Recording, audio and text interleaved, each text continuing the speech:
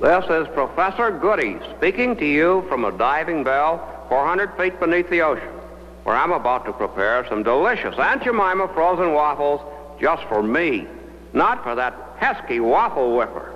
Waffle, waffle, waffle. I take them from the freezer, pop them into the toaster, and mmm, light, crisp, golden brown with Aunt Jemima syrup on them.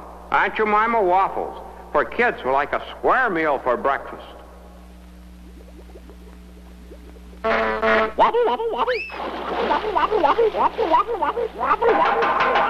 Wallace, please stop.